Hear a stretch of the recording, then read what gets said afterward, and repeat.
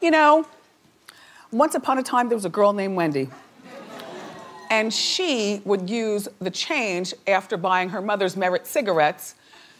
My mom doesn't smoke anymore, but back in the day, everyone smoked.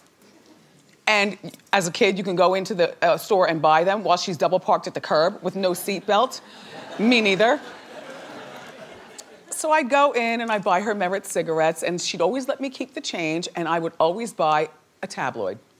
I would love the Burt Reynolds of it all, the Sammy Davis Jr., Liz Taylor, and all that. You know, I've been hot topics since I was knee high to a beanpole, is what they say down south, I think. Yeah, I've always loved it. People like Walter Winchell from back in the day, um, he was one of the, the, the godfathers of, of gossip. And today, it pains me to say that we've lost one of our gossip queens. Liz Smith. Well, she was 94. She lived a good life.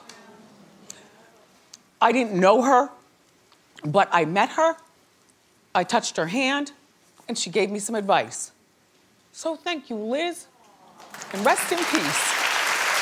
Uh, uh.